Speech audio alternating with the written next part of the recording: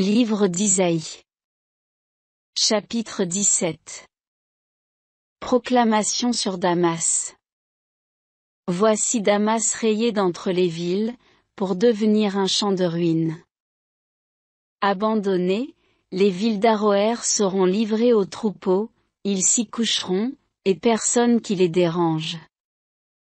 Éphraïm sera privé de forteresse et Damas, de royauté. Il en sera du reste d'Aram comme il en est de la gloire d'Israël oracle du Seigneur de l'univers. Ce jour-là, la gloire de Jacob faiblira, sa chair s'amaigrira. Ce sera comme à la moisson, quand le blé est ramassé, que les épis sont recueillis à brasser et rassemblés au val des Rephaïm. Il n'y restera presque rien à glaner, comme à la cueillette des olives, deux ou trois olives à la cime des plus hautes branches, quatre ou cinq sur les meilleurs rameaux oracles du Seigneur, le Dieu d'Israël. Ce jour-là, l'homme regardera vers celui qui l'a fait et portera les yeux vers le Saint d'Israël. Il ne regardera plus vers les autels faits de ses mains, il ne verra plus ce que ses doigts avaient fait, ni les poteaux sacrés, ni les colonnes à encens.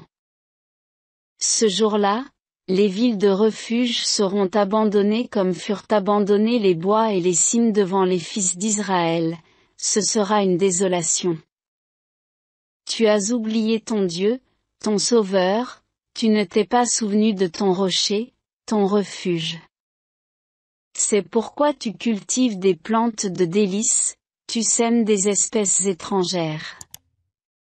Le jour même où tu les plantes, tu les vois pousser, Dès le matin, tu vois fleurir ce que tu as semé, mais la récolte t'échappe au jour de la maladie, du mal incurable.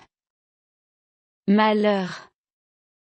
C'est le grondement de peuples innombrables qui grondent comme gronde la mer, le rugissement de nations qui rugissent comme rugissent les eaux puissantes.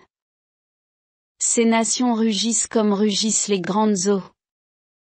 Mais le Seigneur les menace, elles fuient au loin, chassé comme la paille par le vent des montagnes, comme le tourbillon, par l'ouragan.